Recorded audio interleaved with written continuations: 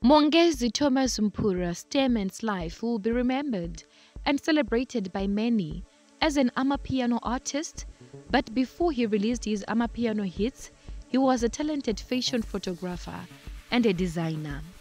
Mongezi Stearman was also well known in the fashion industry. Mpura grew up in Soweto, Chiawelo, Extension 3, living with both his grandparents and parents. Before his fame in the music industry, Mpura excelled in fashion. He was the founder of Mpura Designs, a unisex street style brand that explores fruity art. In 2018, he made his South African Fashion Week debut, showcasing his autumn winter 2019 collection. He was also responsible for styling his models when shooting lookbooks for his fashion label. He was a man of many talents. He attended fashion shows and was often spotted at the front row seats with fellow well-known fashion designer.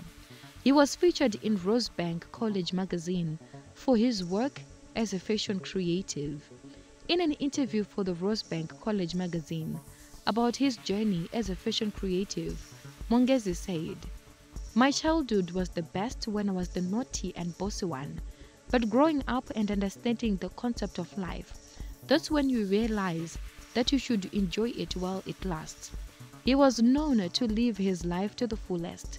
His life was cut short in a horror accident which occurred on the 7th of August, which claimed the lives of fellow Amapiano artists Kaya Hadebe, Thando Tot, T.D. Killer Kau.